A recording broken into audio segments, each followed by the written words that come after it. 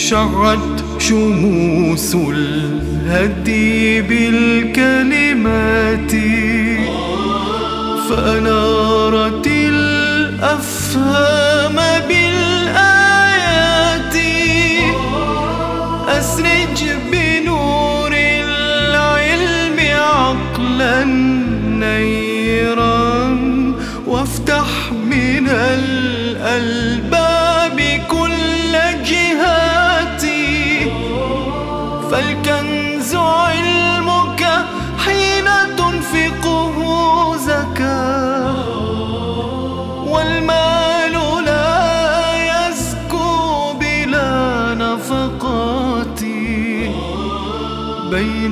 الظلام وبين نور مشرق. هدي ينير الدرب بالومضات. بسم الله الرحمن الرحيم. والصلاة والسلام على محمد وآله الطيبين الطاهرين.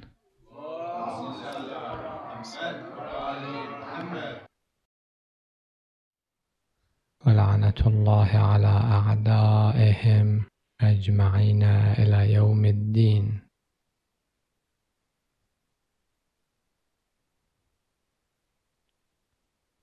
كان كلامنا حول السبب الذي يكمن وراء غيبة ولي أمرنا وإمام زماننا الحجة المهدي. عجل الله تعالى فرجه.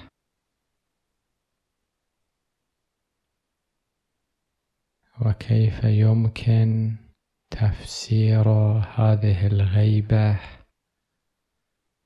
المحيرة؟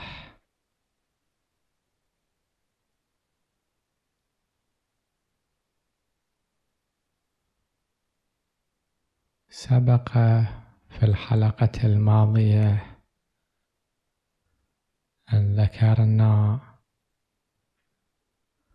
أن هذا السؤال لا يختص بغيبة الإمام المهدي وإنما يعم كثيرا من غيبات الأنبياء والأولياء. فلماذا غاب نبي الله موسى أربعين ليلة؟ ولماذا غاب نبي الله عيسى حوالي ألفي عام؟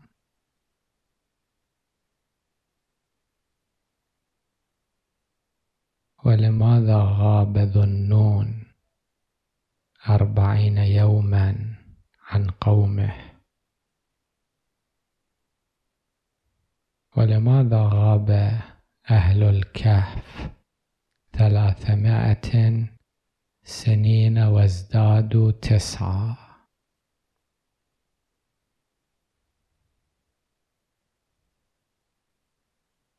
في المقام توجد هنالك عدة إجابات.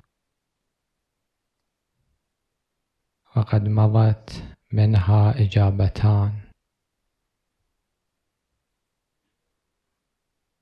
أما الإجابة الثالثة فهي أن غيبة الإمام المهدي عجل الله تعالى فرجه. تمثل شكلا من أشكال التمحيص والإبتلاء الإلهي للعباد.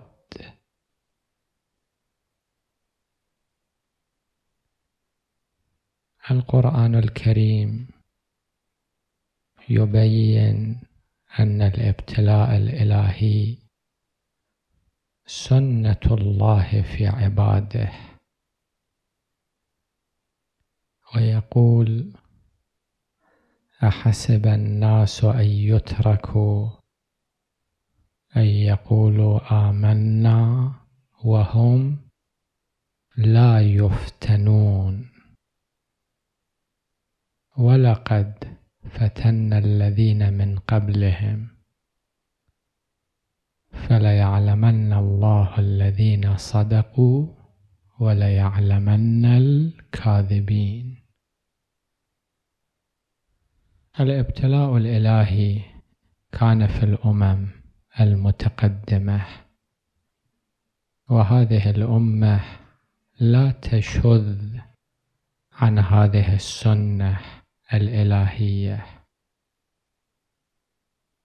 بل لعل القرآن الكريم يدل على أن الغاية من الخلقة والهدف من الخلقة هو الاختبار والامتحان. القرآن الكريم يقول تبارك الذي بيده الملك وهو على كل شيء قدير الذي خلق الموت والحياة ليبلوكم. لعل ظاهر هذه اللام أنها لام الغاية لا لام العاقبة التي يذكرها المغني. هذا هو الهدف وهذه هي الغاية.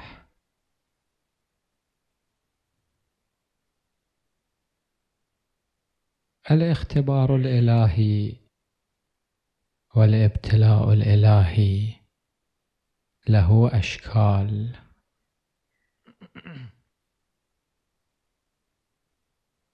شكل من أشكال الابتلاء الابتلاء بالغنى.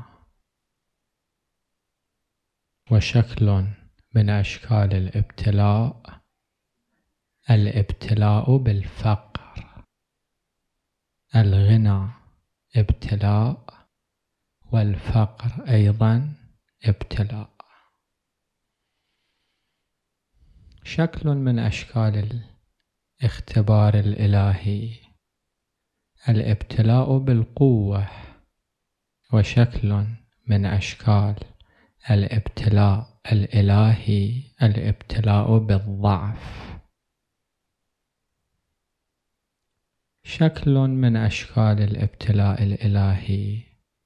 الابتلاء بالجمال. وشكل من أشكال الابتلاء الإلهي. الابتلاء بالقبح. الجمال نوع من أنواع الابتلاء. القبح أيضا نوع من أنواع الابتلاء. وشكل من أشكال الابتلاء الإلهي الابتلاء بالغيبة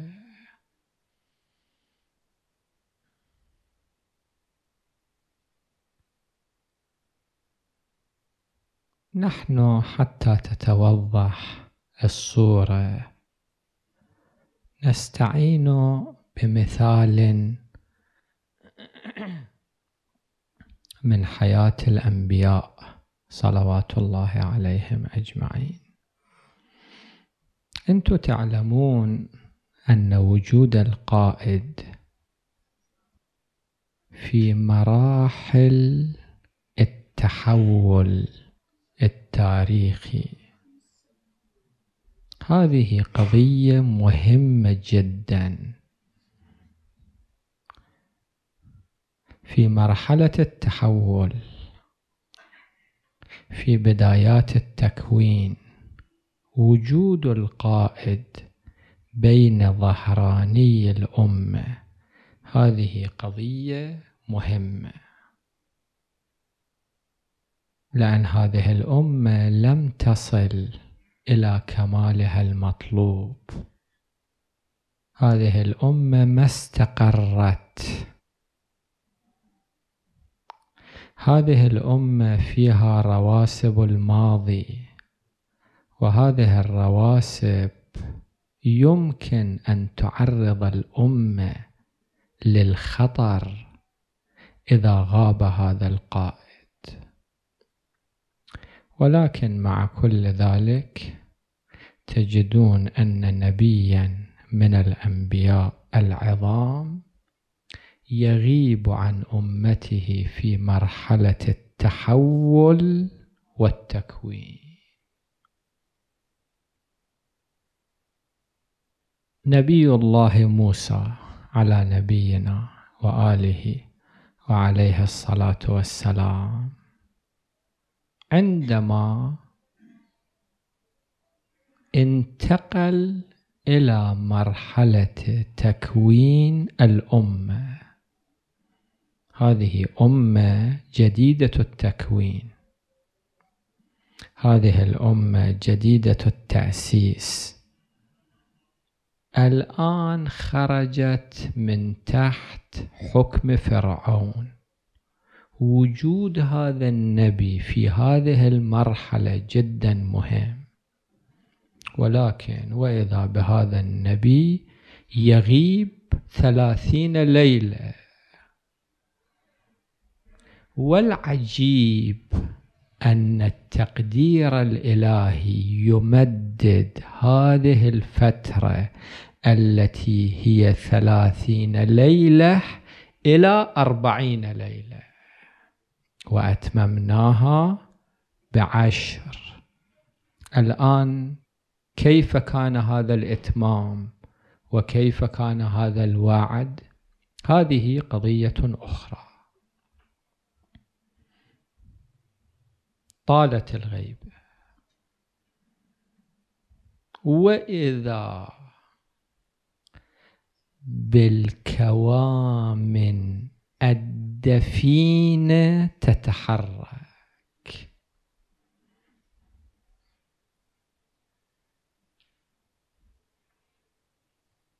وإذا بالمجال يفسح أمام القوى التي في قلبها مرض أو في قلبها شك أو في قلبها ريب.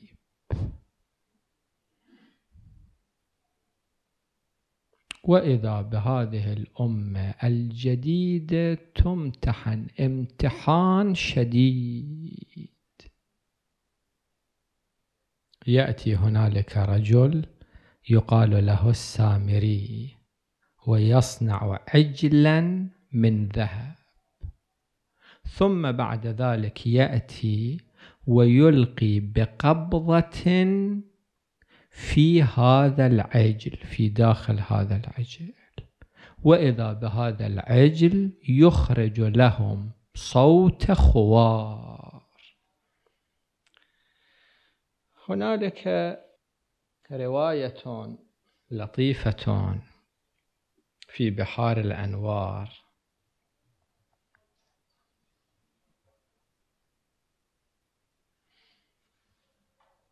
في المجلد الثالث عشر صفحة ميتين وسبعة وعشرين. هذه الرواية منقولة عن الإمام الباقر صلوات الله وسلامه عليه. يقول الإمام الباقر كما في هذه الرواية لما ناجى لما ناجى موسى عليه السلام ربه أوحى الله إليه أي يا موسى قد فتنت قومك.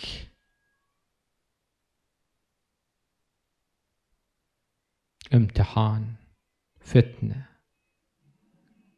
إذا موسى كان موجود ما كان يمكن كما يبدو لهذا الامتحان الإلهي أيتم هنالك رواية على ما أتذكر. يسأل ذلك الرجل سيد الشهداء صلوات الله عليه لماذا تخرج إلى كربلاء؟ فقال الإمام صلوات الله عليه فبما إذا يمتحن هذا الخلق. إذا قضية كربلاء ما كانت كيف كان يظهر جوهر حبيب؟ حبيب ابن مظاهر والشمر لعل مظهرهما كان مظهر واحد. ولكن عندما تأتي قضية كربلاء وإذا بها تفصل بين هذين الرجلين. هنالك كوامن هذه الكوامن خفية. هذه الكوامن في مرحلة القوة. الامتحان الإلهي يوفر الجو حتى ما بالقوة يتحول إلى ما بالفعل. هنالك بيضة عصفور وبيضة حية. إذا الأجواء الملائمة لا توجد ما بالقوة يبقى ما بالقوة. لعله ربما لا تجدون فرقا في المظهر. ولكن عندما تأتون وتوفرون أجواء حتى ما بالقوة يتحول إلى ما بالفعل. وإذا بتلك البيضة تتحول إلى طائر جميل والبيضة الثانية تتحول إلى حية تقتل. الله سبحانه وتعالى يحرك الأحداث ما يسلب الإرادة. الإرادة موجودة ولكن الله يحرك الأحداث بشكل حتى ما بالقوة يتحول إلى ما بالفعل. إحنا حتى نحن ما نعلم من نحن. إحنا مو مكشوفين لأنفسنا. إحنا لا نعرف أنفسنا. ولذلك المؤمنون يشعرون بالخطر دائما. لذلك دائما يدعون ربنا لا تزغ قلوبنا بعد إذ هديتنا. أحيانا في القلب أكو اختلاط. عندما يأتي الجو المناسب وإذا واحد يتحول إلى ولي من الأولياء ما كان ولي بالقوة كان وليا. لكن هذا الامتحان وفر الجو وإذا بهذا تحول إلى ولي من الأولياء. صدام لازم يجي يحكم. في هذا الجو يسجن رجلان. إذا ما كان يحكم ربما ما كانت تظهر بعض الكوامن. يسجن رجلان وإذا بواحد من هذين الرجلين يتحول إلى صديق مع الأنبياء والصديقين. وإذا بالثاني في هذا السجن يتحول إلى رجل كافر زنديق. من اللي حول ما بالقوة إلى ما بالفعل؟ هذا الظرف. حركة الأحداث تحركت بشكل أظهرت الكوارث.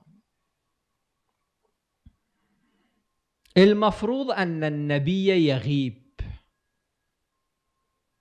غاب النبي. الإرادة التكوينية تتحرك في اتجاه. شوية دققوا. والإرادة التشريعية تتحرك في اتجاه آخر. لأن إذا توافق تحرك الإرادة التكوينية والتشريعية لا يفسح المجال للامتحان. الإرادة التشريعية تتحول تتحرك في اتجاه الإرادة التكوينية تتحرك في اتجاه آخر. وإذا بالله سبحانه وتعالى يمحص ما في القلوب.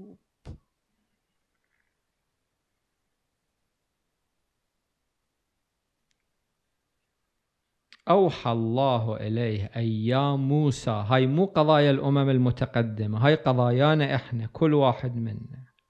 أيام موسى قد فتنت قومك. قال وبماذا يا رب؟ قال بالسامري. السامري إذا كان موسى موجودا لعله ما كان يمكن أن يكون له دور. ولكن غيبة موسى هي التي فسحت أمامه المجال. السامري كان يبحث عن ماء يسبح به هاي الغيبة وفرت له هذا الماء. إذا الإمام الكاظم صلوات الله عليه ما كان يغيب في ظلمات السجون كيف كانت تظهر حقيقة البطائن؟ علي بن أبي حمزة البطائني. والقندي زياد بن مروان القندي وعثمان بن عيسى الرواسي. عثمان من عائلة كلهم ثقات عثمان بن عيسى الرواسي كما قاله النجاشي. إذا الإمام كان ظاهر ما كان يتاح المجال لهذا الاختبار. لابد الإمام الكاظم يغيب في الظلمات ظلمات السجون وظلم المطامير فيفسح المجال لامتحان هؤلاء. قال بالسامري قال وما فعل السامري؟ الآن موسى دا يسأل من ربه قال صاغ لهم من حليهم عجلا يعني ولد البقر. أخذ الحلي منهم الذهب وصاغ عجلا ذهبيا. شوفوا سؤال موسى. قال يا رب إن حليهم لتحتمل أن يصاغ منه غزال أو تمثال أو عجل. هذا مو امتحان. فكيف فتنتهم؟ السامري أخذ الذهب وصنع منه عجلا. كيف يكون الامتحان؟ كيف تكون الفتنة؟ قال الله إنه صاغ لهم عجلا فخار له خوار في الآية الكريمة. هذا هو الامتحان. قال موسى يا رب ومن أخاره؟ يعني جعله يخور. من اللي جعل العجل يخور؟ قال أنا أنا جعلته يخور. فقال عندها موسى إن هي إلا فتنتك تضل بها من تشاء وتهدي من تشاء. كيف أخار الله سبحانه وتعالى هذا العجل؟ شلون أخاره؟ شوفوا حركة الأحداث. السامري عظيم من عظماء قوم موسى.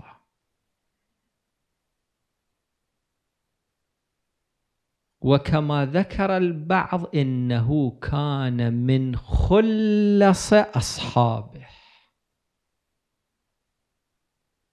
عندما قوم موسى أرادوا أن يعبروا البحر وإذا بجبرائيل يأتي على فرس. الكل ما يشوفون شوفوا حركة الأحداث. أي واحد ما يشوف جبرائيل. ولكن السامري يرى جبرائيل. شوفوا هاي مقدمة لحركة الأحداث إلى تلك النتيجة. يشوف جبرائيل. ليش يشوف جبرائيل؟ إذا ما كان يشوف جبرائيل ما كانت هذه الفتنة ما كان هذا الامتحان يشوف جبرائيل. ويرى أن التراب تحت حافر فرس جبرائيل يتحرك دبت فيه الحياة. يجي في ذهنه أن يأخذ قبضة من هذا التراب المتحرك. ويحتفظ بهذا التراب المتحرك. يحتفظ به يحتفظ به يحتفظ به إلى اليوم الموعود. عندما غاب موسى وصنع العجل الذهبي يأخذ قبضة من هذا التراب المتحرك الحي ويلقيه في باطن العجل. وإذا بالعجل يخور يصدر منه خوار كخوار العجل. قال هذا إلهكم. وإله موسى هذا هو الرب. فنسي موسى نسي أن هذا الهه ضيع الطريق راح حتى يشوف الله بينما هذا الله.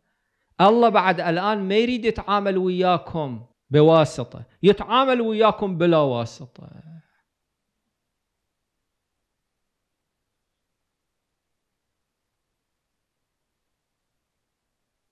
فسجدوا للعجل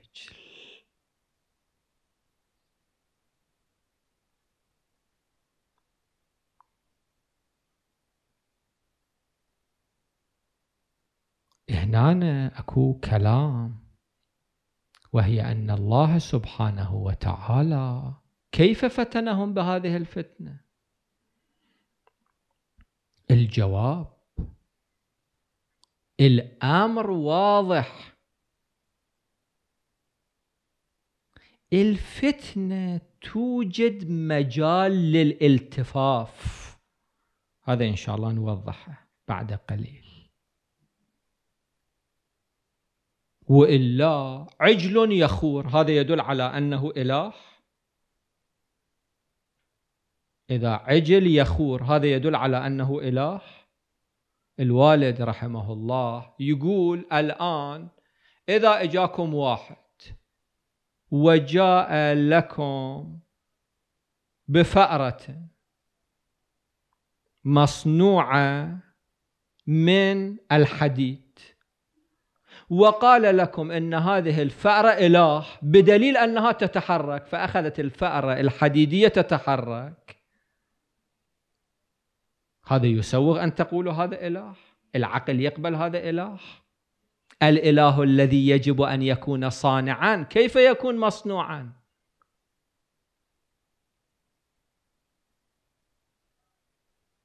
يعني ما كان هنالك مجال ولكن فتح هنالك هامش.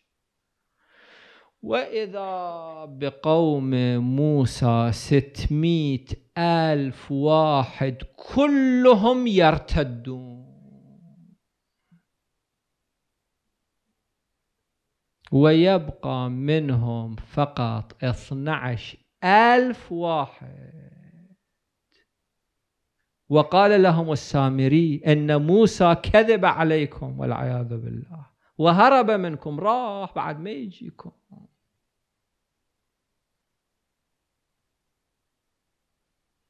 العقل ما يقبل هذا الاله فرجع موسى إلى قومه غضبان أسفا قال يا قوم ألم يعدكم ربكم وعدا حسنا؟ الله ما وعدكم. السيادة في الدنيا إعطاء القانون المقام الرفيع في الآخرة. أفطال عليكم العهد؟ أم أردتم أن يحل عليكم غضب من ربكم فأخلفتم موعدي؟ حتى رادوا يقتلون هارون. في بعض الكتب فهرب منهم هارون حتى لا يقتلوه.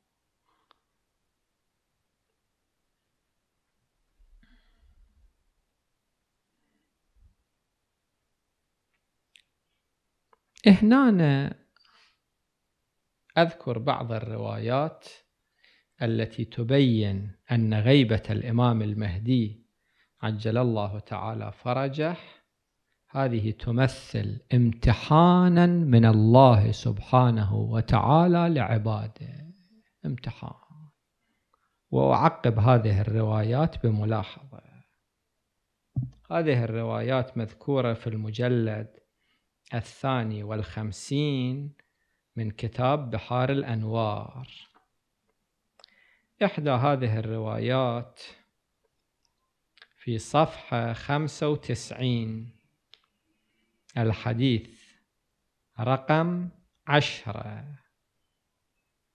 في آخر هذا الحديث المروي عن الإمام الصادق صلوات الله عليه لأن الله يقول إن للغلام غيبة قبل أن يقوم. في نهاية الحديث لأن الله يحب أن يمتحن خلقه. امتحان. فعند ذلك يرتاب المبطلون مو الباحثون عن الحقيقة. المبطل الذي في قلبه مرض يرتاب. وإلا الباحث عن الحقيقة لا يشك. الرواية الثانية في صفحة 101 101 الحديث الثالث. قال أبو عبد الله عليه السلام والله لتكسرن كسر الزجاج وإن الزجاج يعاد فيعود كما كان. والله لتكسرن كسر الفخار وإن الفخار لا يعود كما كان. لعله إشارة إلى نوعين من الأفراد قسم يميلون ثم يعودون وقسم لا يعودون كما كانوا. والله لتمحصن والله لتغربلن كما يغربل الزؤان من القمح. الحنطة تختلط بها حبوب حمراء وسوداء أو صفراء. لازم يصير هنالك تمييز لازم يصير هنالك فصل لازم تظهر الكوامل. الحديث الثالث صفحة 113 رقم الحديث 26 عن الإمام الكاظم صلوات الله عليه إذا فقد الخامس من ولد السابع السابع يعني الإمام الكاظم من الأئمة فالله الله في أديانكم. قضية خطيرة. بالذات في هذا العهد عهد العولمة عهد الاختلاط اختلاط الأفكار والمذاهب والأديان. الآن في كل غرفة توجد كل الأفكار وكل الأديان وكل الاتجاهات. إذا شوية واحد يغفل ينتهي. فالله الله في أديانكم لا يزيلنكم عنها أحد. يا بني إنه لا بد لصاحب هذا الأمر من غيبه.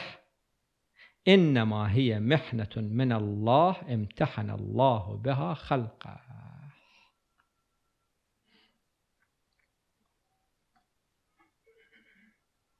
الرواية الأخرى رقم 28 عن أبي جعفر. قلت لأبي جعفر يعني الإمام الباقر عليه السلام متى يكون فرجكم؟ قال هيهات هيهات كأنه معنى هيهات بعد. لا يكون فرجنا حتى تغربلوا ثم تغربلوا ثم تغربلوا حتى يذهب الكدر ويبقى الصفو.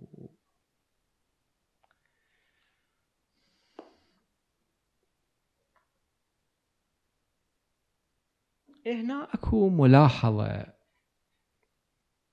وهذه الملاحظة مهمة. في امتحانات الغيبة. أكو هنالك اختلاط عجيب بين عنصرين. عنصر البطون وعنصر الظهور. عنصر التجلي وعنصر الاختفاء. عنصر الغيبة وعنصر الوضوح. فد خليط عجيب.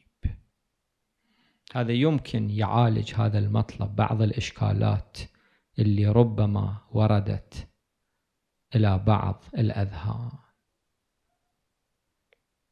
من جانب بطون كامل ومن جانب ظهور كامل. لماذا البطون؟ للامتحان. لماذا الظهور الكامل؟ لتتم الحجة على العباد.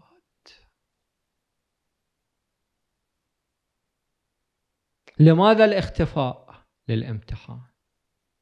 لماذا التجلي لتمام الحجة؟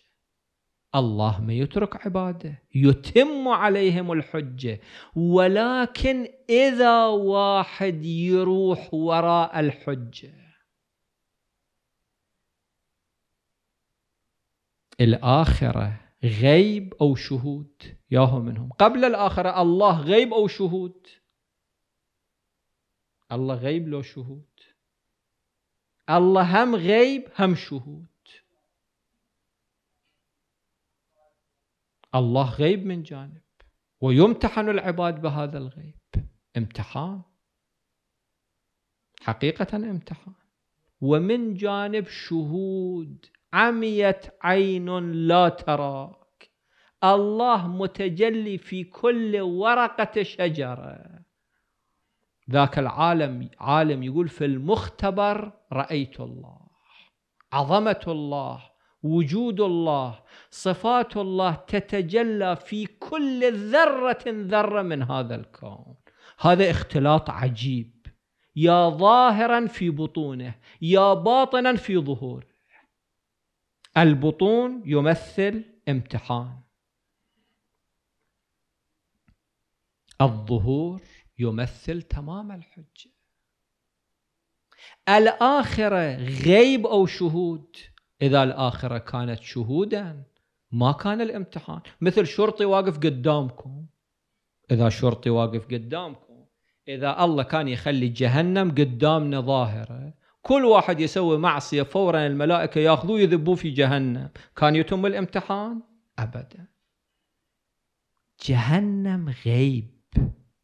ولكن في نفس الوقت الجنة والجحيم واضحتان لمن يريد أن يرى. إذا واحد لا يغمض عينه.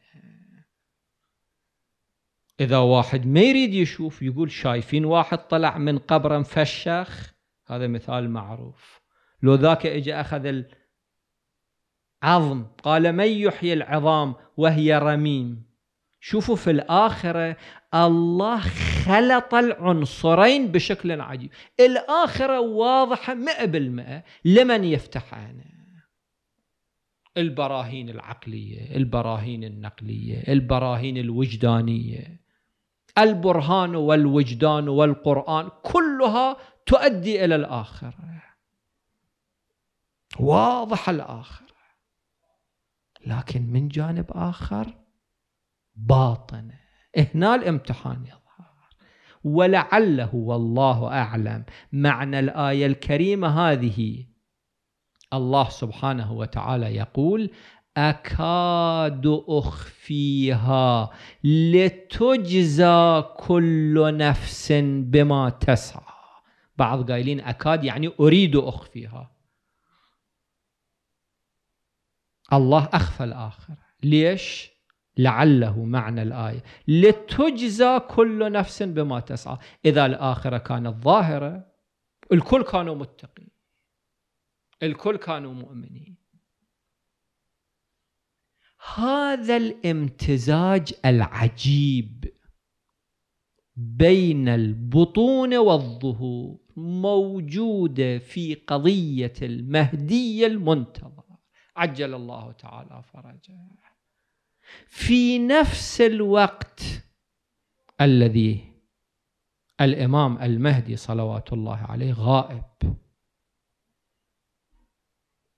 عن الأكثرية.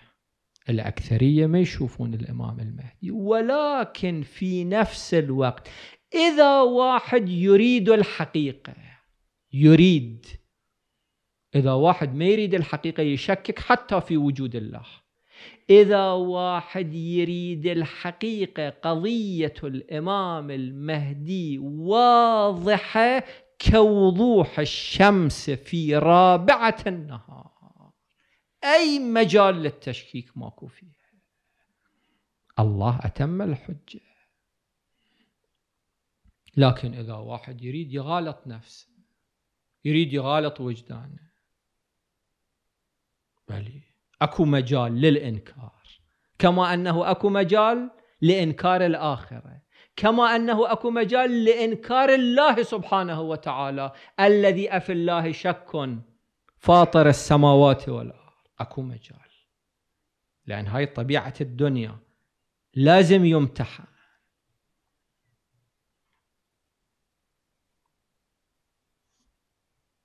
أنا أذكر لكم ولو هذا خارج عن بحثنا. لكن أذكر لكم حتى شوفوا إذا واحد يريد يعرف الحقيقة يوصل للحقيقة. إذا واحد يريد يغالط نفسه يغالط نفسه في قضية الإمام المهدي وفي غيره. قرأت كتاب قبل فترة. يقول أنا مؤمن بالله ولكن ما عندي دليل على وجود الله. عجيب. يقول اللي يؤمن بالله دليل ما عنده على وجود الله. اللي يكفر بالله أيضا ما عنده دليل على وجود الله. قضية ذوقية. هالشكل. وفي كل شيء له آية تدل على أنه واحد. لكن واحد يريد يغالط أكو مجال.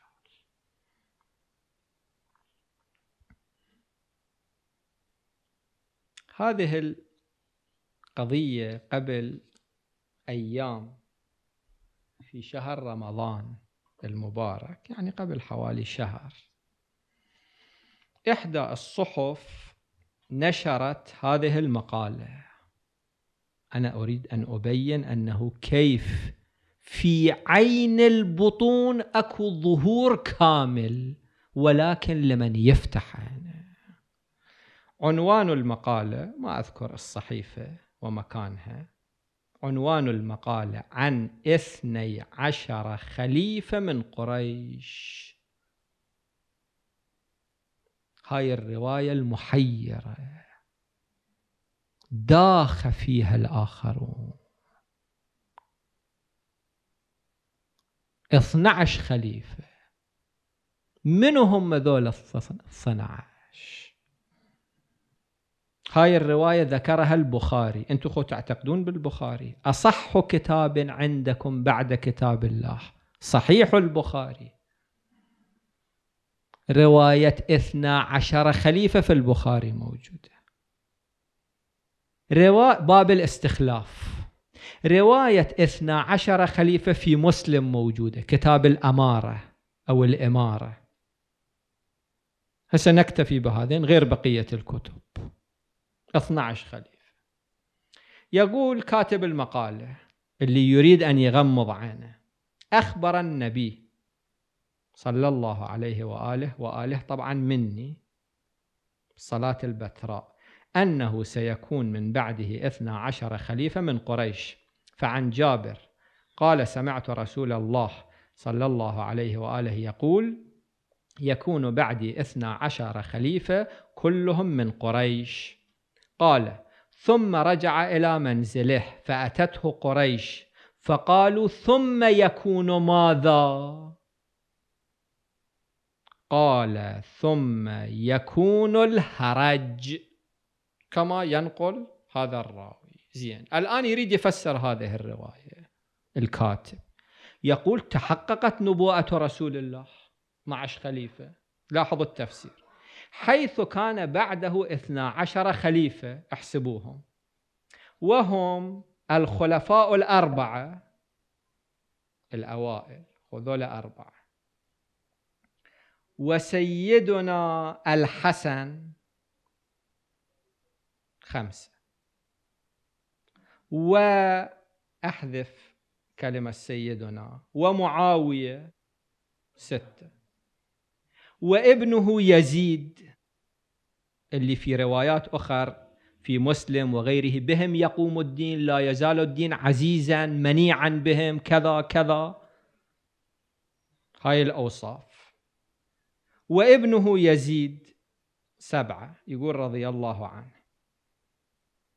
وحفيده معاوية ابن يزيد معاوية الثاني ثمانية وعبد الله بن الزبير ليش؟ لأن حكم مكة مدة تسعة. ومروان ابن الحكم عشرة. وعبد الملك ابن مروان 11 والوليد ابن عبد الملك 12 وعددهم 12 خليفة وتوفي آخرهم الوليد ابن عبد الله سنة 96 من الهجرة. خب بقية الرواية. ثم يكون من بعد ذلك الهرج. الهرج وين صار؟ يريد يطبق الحديث يقول ووقع بعد ذلك بست وثلاثين سنة هرج وقتال شديد. إبان انتقال الخلافة من بني أمية إلى بني العباس. البقية وين صاروا؟ ما صاروا 12 ذولا هاي الفترة 36 عام شلون طفرتوها؟ أنتوا وصلتوا إلى الوليد صار 12 وبعد الوليد منو اجى بعد اجى سليمان ابن عبد العزيز. بعد اجى عمر سليمان ابن عبد الملك. بعد اجى عمر ابن عبد العزيز. بعد اجى يزيد ابن عبد الملك. بعد اجى هشام ابن عبد الملك. بعد اجى الوليد ابن يزيد ابن عبد الملك. بعد اجى يزيد ابن الوليد ابن عبد الملك. بعدين اجى إبراهيم ابن الوليد ابن عبد الملك. بعدين اجى مروان ابن محمد. ثم حدث الهرج والمرج. بالثورة العباسية ضد الأمويين. فالنبي لازم يقول كم خليفة؟ عشرين خليفة. يكون بعد عشرون خليفة إلى مروان ثم يكون الهرج لكن هذا يطفر هذه الطفرة لأن ما عنده حل. يقول 12 خليفة وصلهم إلى الوليد.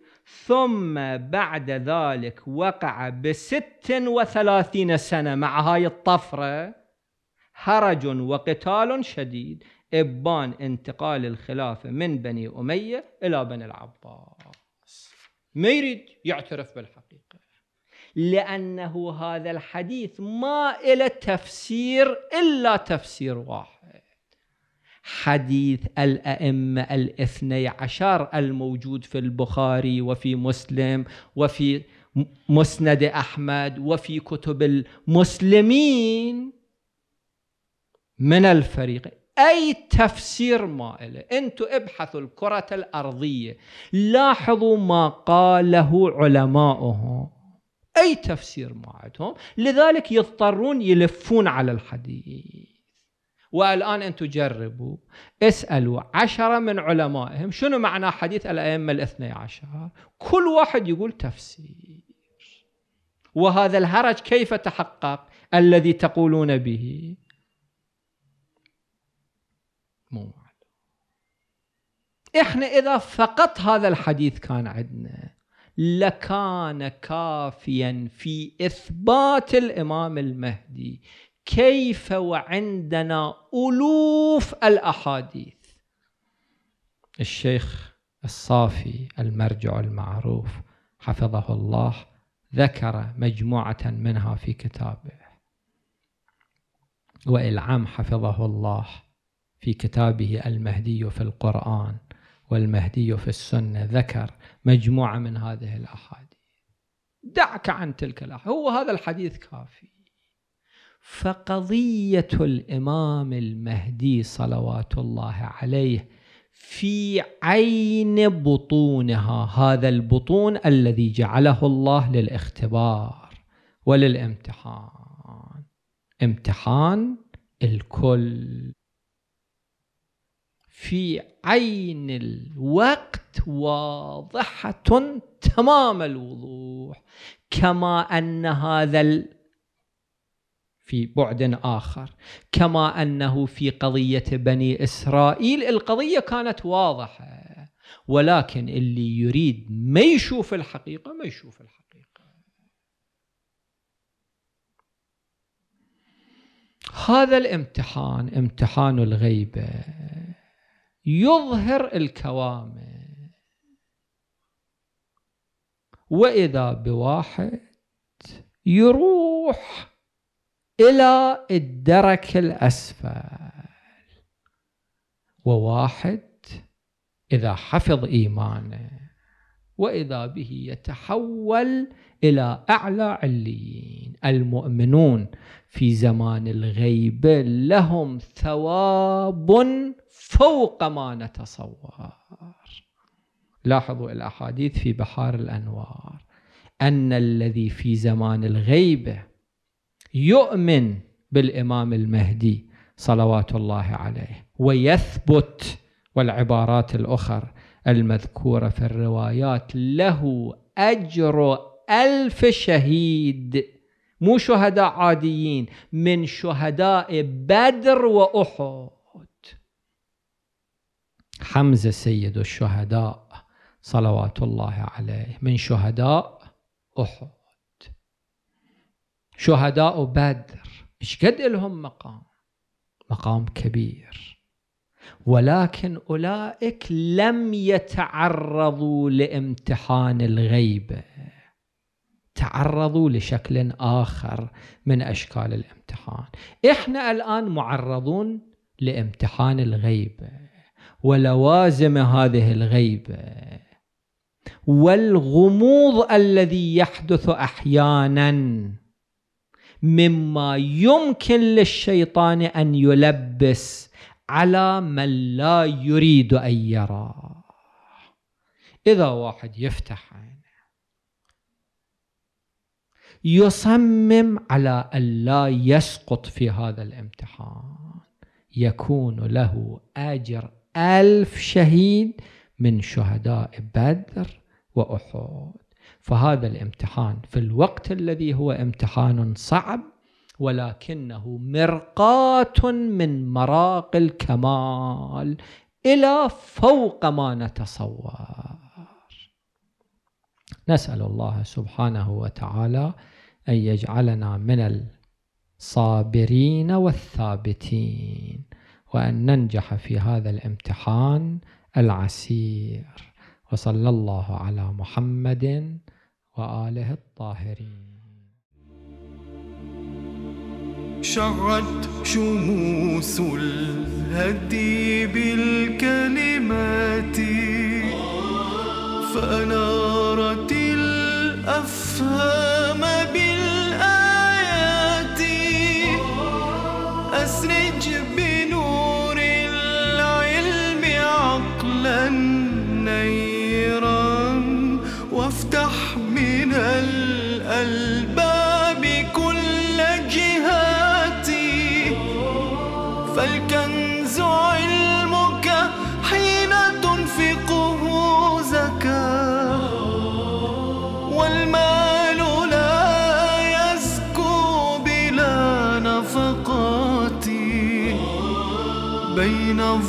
الظلام وبين نور مشرق. هدي